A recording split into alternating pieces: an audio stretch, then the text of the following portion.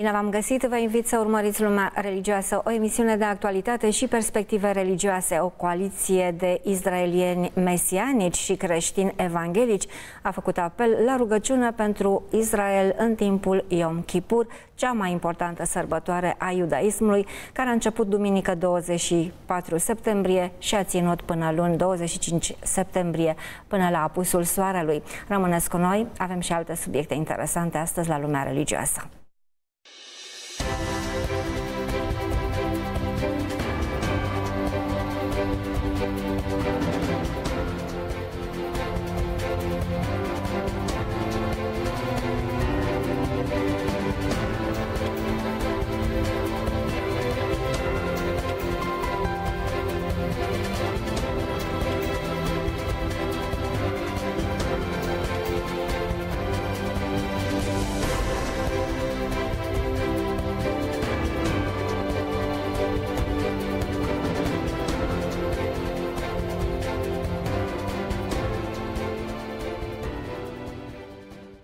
O coaliție de izraelieni mesianici și creștini evanghelici a lansat un apel global la rugăciune pentru Israel de Yom Kippur.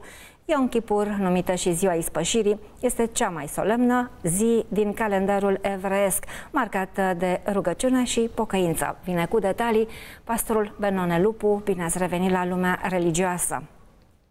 Ciao, bine v-am găsit! Mă bucur să vă revăd din nou! Așadar, sunt câteva ore de când s-a încheiat uh, sărbătoarea Yom Kippur. Totuși, haideți să dăm câteva detalii. Pentru evrei este, cred că, cea mai importantă sau una din cele mai importante sărbători din uh, calendarul uh, ebraic este sărbătoarea regală, sărbătoarea mare a anului.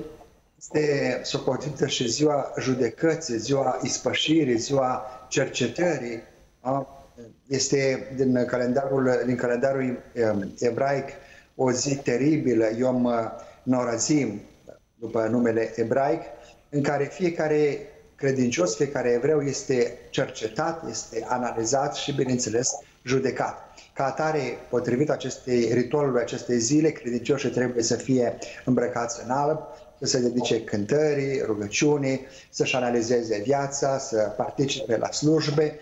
Uh, oarecum uh, se pliază pe modul Vechiului Test- Noului Testament, nu, Vechiului Testament, uh, a fost instituită această sărbătoare care avea această formă a a analizării, a cercetării, a judecății. În Vechiul Testament era vorba de o slujbă specială pe care o făcea Marele Preot împreună cu preoții ceilalți, dar Marele Preot în mod special sacrifica un țap, cu sângele lui intra în Sfânta Sfintelor de unde lua în mod simbolic păcatele care au fost adunate în lungul anului, mărturisite asupra cortului și le punea, transfera asupra celui de-al doilea țap care era alungat în uh, pustiu. Și în felul acesta uh, poporul și sanctuarul era curățat de toate păcatele adunate peste an. Deci era o zi a curățirii, o zi a iertării. Uh, începeau de a data aceea și până astăzi evreii continuă pentru 10 zile să ostească, să se roage. Deci este o sărbătoare care are de-a face cu mărturisirea, cu pocăința, cu lepădarea păcatelor. În acest uh, context, uh, o coaliție de izraelieni uh, mesianici și creștini evanghelici a lansat un apel global la rugăciune pentru Israel de această sărbătoare importantă, Yom Kippur. Ce știm despre această coaliție? Da, Beatrice, am uh, văzut știrea, m-am uitat cu atenție. Uh, coaliția este una mixtă, avem de-a face cu credincioși mesianici, evrei, de asemenea creștini de diferite confesiuni. Uh, este vorba de Casa Internațională, iată, am aici în față datele de rugăciune din Kansas, Missouri și apelul a fost făcut de către Mike Eh, Baikel, care este directorul acestei organizații internaționale pentru rugăciune. Eh, împreună cu omologul său, a putea să-l numesc așa, colaboratorul său, mai bine zis, eh, Ron Candor, care este unul din liderii mesianici de la Ierusalim.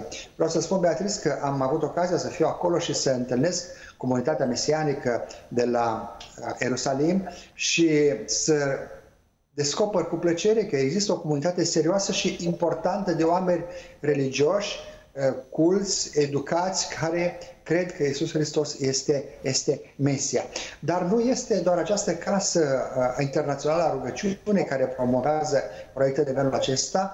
Să nu uităm că uh, Ecole Biblic, iată, îmi vine în minte școala aceasta celebră de arheologie de la Paris, este implicată în proiecte de felul acesta și, uh, de asemenea, în Europa, mai ales în Italia, avem o comisie specială iudaico-creștină de studii, analize, proiecte, rugăciune, uh, care se desfășoară, activitatea se desfășoară de mulți ani de zile și unde secretarul general este chiar un coleg de-al meu, Franco Mosca, care este implicat în proiectele acestea. Eu cred că proiectul este binevenit, este frumos, o rugăciune care este pentru mărturisirea păcatelor, pentru dragoste frățească, este un proiect, cred că merită să se dăm atenție.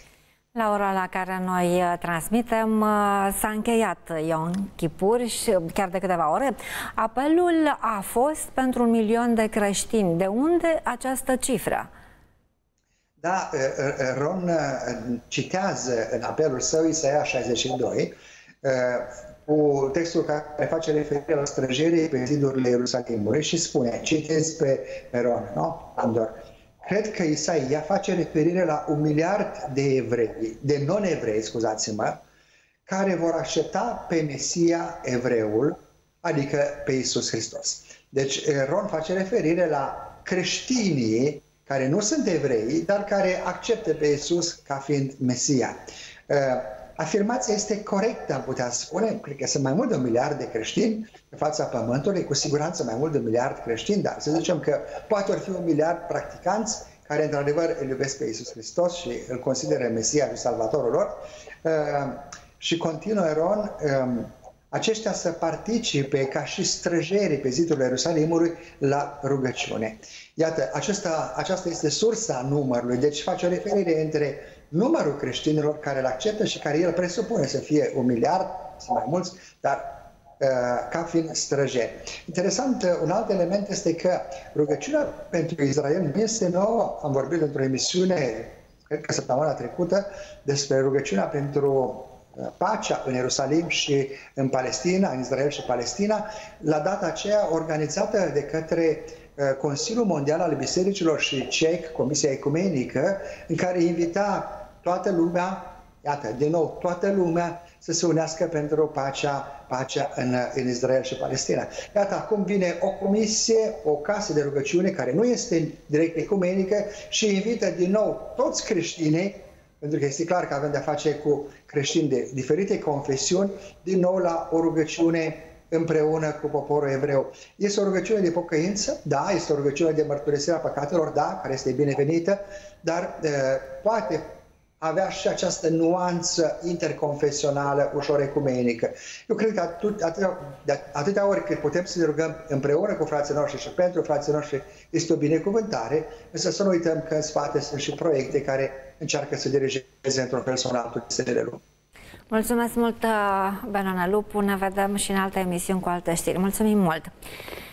Iar noi uh, mergem mai departe pentru că aici uh, în studio alături de mine se află pastorul Lucian Floricel. Împreună comentăm astăzi știrile acestei ediții. Bine ați revenit la lumea religioasă.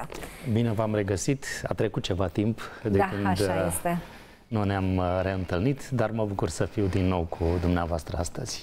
La doar câteva ore de la încheierea unei sărbători importante, Important. Yom Kippur, și de la lansarea unui apel pentru o rugăciune globală. Um, nu este surprinzătoare această chemare sau acest apel um, și probabil uh, cu trecerea timpului uh, se va accentua, se va intensifica apelul acesta, pentru că pentru o mare parte dintre evanghelici, um, Israelul uh, se consideră că va juca un rol important în istoria evenimentelor care ne stau în față. Uh, desigur, uh, este un subiect uh, important aici și ar trebui să fie abordat, deși noi în am mai da, abordat da, așa este, în câteva cuvinte. În, în, momentul, în momentul în care Domnul Hristos a fost respins de națiunea iudaică, Israelul și-a pierdut atunci rolul de popor favorizat. Oricât am vrea să ascundem lucrul acesta, este clar din uh, relatarea biblică. Și din momentul acela, el a transferat uh, toată această chemare, misiune către Biserica creștină pentru uh, începutul acela al celor care l-au urmat pe Hristos și, bineînțeles, au fost instruiți de apostoli. Însă, în contextul acestei uh, așteptări uh, cu privire la Israel, gândiți-vă că am vorbit în câteva ocazii despre uh, planul de refacere al templului, pentru că templul ar trebui să joace un rol și iată, Yom Kippurul este o sărbătoare extrem de importantă, poate cea mai importantă sărbătoare care are loc la sfârșitul anului și aștept să începi anul următor într-o relație bună cu Dumnezeu, această sărbătoare era foarte legată de templul din Ierusalim, care, iată, acum nu există. Deci sunt câteva lucruri pe care noi trebuie să le observăm și probabil le vom vedea în timp, însă observăm cum aceste cumva religii antagonice la un moment dat, e vorba de religia iudaică și creștinism, se reunesc uh, în așteptările lor, uh, bineînțeles având și un liant prin acești evrei mesianici care păstrează toate ceremoniile, sărbătorile uh, iudaice, dar în același timp îl acceptă pe Hristos ca fiind Mesia. Și acest liant încearcă să lege cele două uh, religii care au fost separate pentru foarte mulți ani și în același timp să creeze o nouă imagine despre importanța Israelului, Ierusalimului și, bineînțeles, a templului. Însă ar trebui să mai citim în Biblie pentru a înțelege bine lucrurile. Și Așa cum spuneam, este vorba și despre un apel de rugăciune, un uh, apel global la rugăciune creștinii să se roage pentru Israel de Yom Aici nu este, nimic, uh, nu este nimic greșit, pentru că nicio rugăciune nu este uh, de înlăturat de dat deoparte și orice chemare la rugăciune este binevenită. Bineînțeles că și scopul ar trebui să fie bine definit. Dacă este să ne rugăm pentru, pentru Israel, în contextul uh, disputelor care sunt acolo în uh, lumea orientală. Da, sigur, ne putem ruga, dar și ceilalți sunt tot uh, religii avraamice.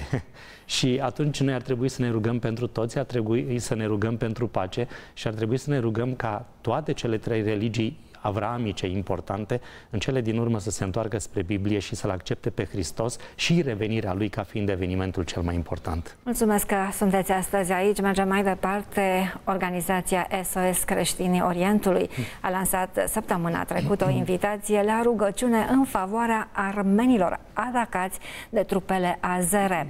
În dimineața zilei de 20 septembrie, organizația SOS Creștinii Orientului, care ajută populația creștină creștină persecutată din Orientul Mijlociu a publicat un apel la rugăciune pentru populația din Nagorno-Karabakh predominant armeană și creștină atacată de Azerbaijan. Vine cu detalii pastorul Cristian Dobra. Bine ați revenit la lumea religioasă. Bine v-am regăsit. Haideți să oferim câteva repere istorice despre mm, zona aceasta. Este de altfel o istorie care a început, așa cum de fapt se știe, după destrămarea Uniunii Sovietice în 1991, când Armenia și Azerbaijan au devenit independente. Și să vedem și ce s-a întâmplat săptămâna trecută în dimineața zilei de 20 septembrie. Dați-ne mai multe detalii. Da, Beatrice, uh, ai spus bine, um, acest conflict uh, vine de mult în urmă, inclusiv pe, în perioada Uniunii Sovietice, existau conflicte cu privire la acest teritoriu, uh, revendicat atât de Azerbaijan cât și de Armenia.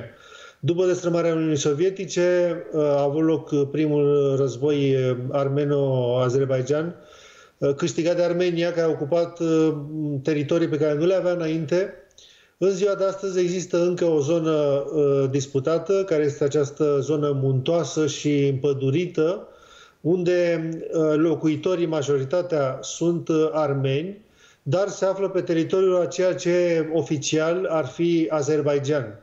Um, există o pace destul de fragilă între separatiștii armeni și Azerbaijan, care de curând a fost încălcată iarăși, odată cu incursiunile uh, militarilor uh, azeri în acest teritoriu.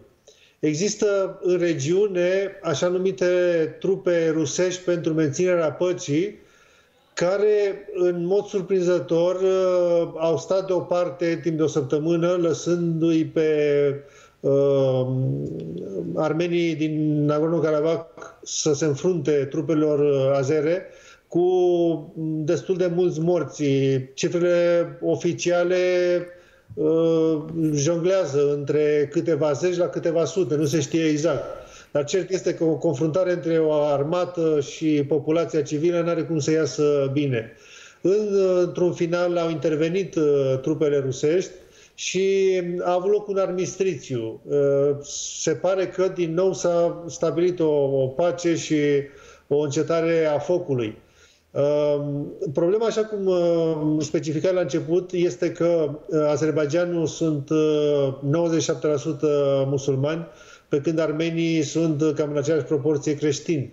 Eh, drept pentru care are loc nu numai o luptă pentru teritoriu, ci și pentru impunerea unei anumite culturi și credințe.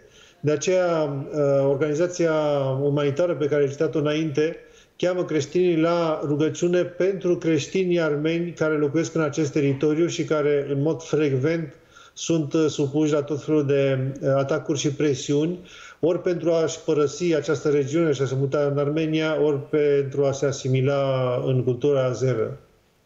În urma uh, lansării acestui apel din partea organizației SOS Creștinii Orientului, avem reacții internaționale importante Uh, reacțiile internaționale îl um, au în vedere mai mult pe uh, Putin și forțele rusești decât pe creștinii armeni despre care nu se amintește de niciun fel la buletinele de știri. Uh, această reizbunire a conflictului a apărut la știri mai în toată lumea și atenția este pusă asupra rușilor.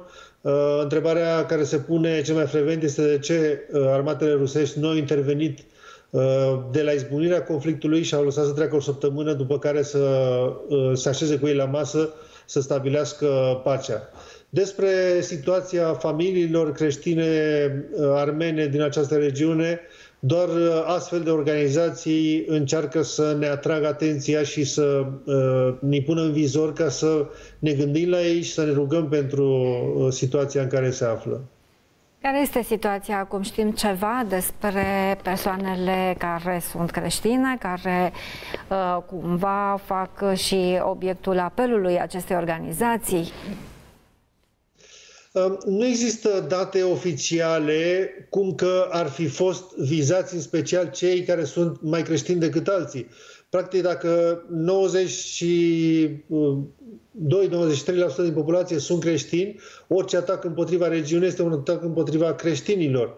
Această organizație uh, umanitară franceză uh, care uh, veghează pentru nevoile creștinilor care se află în Orientul apropiat, în zone de predominanță musulmană. Ei uh, privesc cu lupa astfel de situații și atrag atenția, pe lângă ajutoarele pe care le oferă, atrag atenția întregii lumi uh, asupra nevoilor uh, creștinilor din zonă și nevoilor uh, misiunii creștine în aceste teritorii. Ei atrag atenția asupra acestui aspect. Dar autoritățile și agențiile de știri din întreaga lume par să uite acest aspect al conflictului. Mulțumim mult, Cristian Dobra, pentru intervenția de astăzi. Ne vedem și mâine la aceeași oră. Mulțumim mult! Aici, în studio alături de mine, se află pastorul uh, Lucian Floricel. Iată un nou apel la rugăciune. Aș folosi o expresie uh, romană cunoscută. Zarurile au fost aruncate pentru zona aceea. Și au fost aruncate pentru că politicul uh, a trecut dincolo de uh, dorințele spirituale ale oamenilor. Da, acolo a fost un măr, un, un măr otrăvit care a fost plasat de uh, diabolica conducere sovietică uh, și nu doar acolo, ci și în alte părți, în așa fel încât să poată să dezbine și la un moment dat să stăpânească. Um, acum uh, am spus că zarurile au fost aruncate pentru că, din câte avem, din informațiile pe care le avem, cam 250.000 de locuitori armeni uh, și-au declarat dorința de a pleca, de a părăsi zona, iar azerii nu au nimic împotrivă. Și este normal să nu aibă nimic împotrivă, pentru că vor, uh, deja au și anunțat că vor să recolonizeze zona respectivă cu azeri. De ce s-a întâmplat lucrul acesta și s-a vorbit puțin și de, de Rusia, de ce asta deoparte? Este un joc politic. Singurul aliat pe care îl are este Turcia, azerii sunt de origine turcică și cred și mulți bănuiesc de o înțelegere între cei doi lideri, rus și turc, în așa fel încât să nu se amestece, iar azerii să poată să dobândească o regiune care istorică este armeană. Armenii au locuit acolo de 2500 de ani. În același timp, sigur, ne rugăm pentru ei. Ne rugăm pentru Așa ei este. pentru că își vor părăsi uh, locul, casele, uh, totul vor lăsa acolo și vor merge în Armenia, cei mai mulți vor merge în Armenia, deși sunt comunități armene din Canada, din Statele Unite, care au spus că uh, pregătesc uh, locuri pentru ei dacă vor să meargă atât de departe și vă dați seama că toată viața lor este luată de la început. Uh, dacă ne uităm bine, uh, și zona aceasta o punem sub o anumită, sub o anumită cupolă și anume este din toate părțile o luptă împotriva creștinismului. Așa. Și creștinismul este lovit din, uh, și uh, din interior și am văzut de atâtea ori uh, în comentariile noastre care sunt aceste lovituri și vom avea și în emisiunile din săptămâna aceasta, dar în același timp observăm cum sunt lovituri din exterior și nimeni nu reacționează. S-a spus puțin mai devreme, reacțiile au fost cu privire la Rusia, dar foarte puțin cu privire la faptul că niște creștini Uh, sunt alungați de pe teritoriile lor. Imaginați-vă că ar fi fost Papa invers. Papa Francisc a da? transmis mesaj. Da, dar imaginați-vă că ar fi fost invers. Toată lumea musulmană ar fi, uh, ar fi reacționat, ar fi sărit în aer, ar fi amenințat, ar fi uh, încercat să aibă întâlniri internaționale. Țările creștine aproape au tăcut. Spuneam totuși că liderul catolic uh, a transmis un mesaj. Așa este, care s-a pierdut printre celelalte. Cele politice. Exact. Bun, mergem mai departe. Mai puțin de o treime dintre americani au încredere în religia organizată. Vine cu detalii Aurel Vișovan.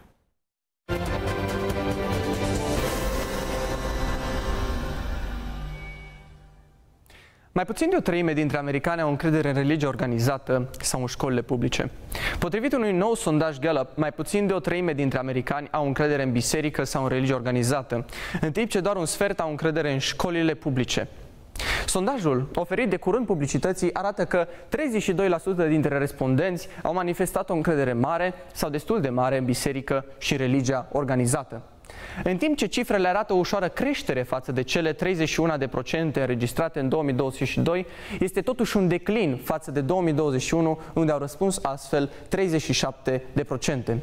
În ceea ce privește Curtea Supremă, 23% dintre americani au declarat că au foarte multă sau destulă încredere în instanța supremă a națiunii o creștere față de 25% în 2022, dar o scădere față de 36% în 2021.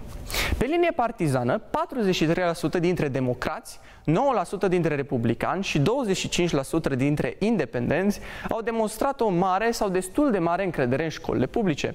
Pe de altă parte, aproape jumătate dintre republicani, 49%, au raportat o încredere semnificativă în biserică și în religie organizată, în timp ce 25% au fost raportate atât printre democrați cât și printre independenți.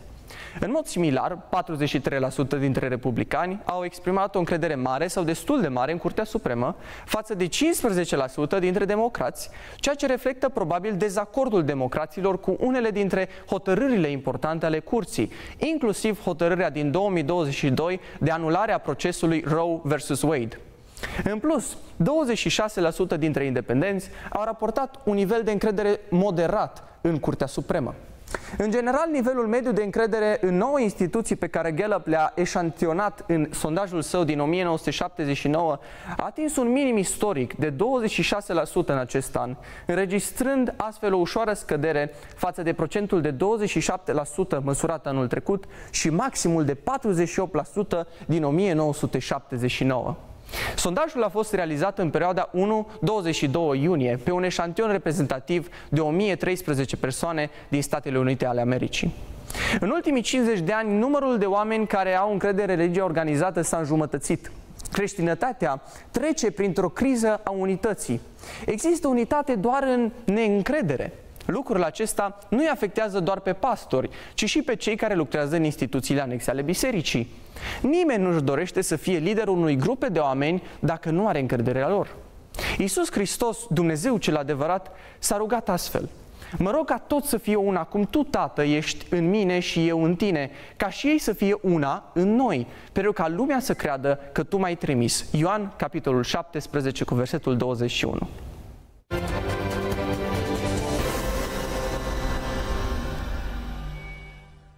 Pastorul Lucian Floricel se află aici la lumea religioasă și comentează pentru noi. Haideți să traducem puțin de ce, cum se explică faptul că mai puțin de o treime dintre americani au încredere în religia organizată. Dacă ne uităm bine, este cea mai uh, bine reprezentată instituție dintre cele nouă care au fost amintite. Media este undeva la 26, 27, exact. Uh, Curtea Supremă de Justiție 23, am putea să spunem că stă bine. În realitate, asistăm uh, nu doar la nivelul uh, culturii americane, ci în general în uh, lumea occidentală, asistăm la o criză de încredere. Și asta este o problemă serioasă. Nu avem timp să căutăm cauzele, dar putem să spunem despre faptul că ani de zile a fost un abuz al instituțiilor. În același timp, a fost uh, o, o corupție în, uh, destul de generalizată în tot felul de instituții și astfel instituțiile și-au pierdut credibilitatea. Dar iată că uh, asta se întâmplă în toate și noi am mai vorbit despre, despre aspectul acesta. Acest fenomen care se manifestă în societate are repercursiuni în mod natural, în mod natural și în interiorul bisericii. Nu putem să spunem că bisericile au fost uh, uh, scutite de corupție și de diverse, diverse probleme, dar totuși uh, uh ce se întâmplă, fenomenul care se întâmplă în societate uh, are efecte și în ce privește biserica. Și să nu uităm, ce este credința? Credința este o încredere neclintită în lucrurile nădăjduite. Și când se lovește la uh, nivelul acesta, uh, pentru că până la urmă e o problemă de relație, uh, se, se lovește în încredere, efectul capătă o dimensiune pe care nu ne putem imagina. Și este posibil ca în timp problema încrederii să se acutizeze. Mai avem încă, un, încă o, o diferență. Cei care sunt conservatori, republicanii au încredere 49%. În timp ce democrații, care sunt progresiștii, uh, au încredere undeva pe la 15%. Asta ne arată care este mersul. Din punctul meu de vedere, întoarcerea spre Biblie, spre autenticitatea Bibliei, până la urmă asta înseamnă să fii conservator, uh, îți oferă acel surplus de încredere. Pentru că până la urmă, fără încredere, în, în relațiile în dintre orice. noi și mai ales încrederea în Dumnezeu, ce înseamnă viața. Pentru că încrederea este totuși baza relațiilor. Vreau să vă mulțumesc pentru că astăzi ați fost aici. Vă aștept și mâine la aceeași oră. Aici se încheie lumea religioasă azi. Eu sunt Beatrice Lospa. Vă mulțumesc pentru că ne urmăriți. Toate bune vă dorim!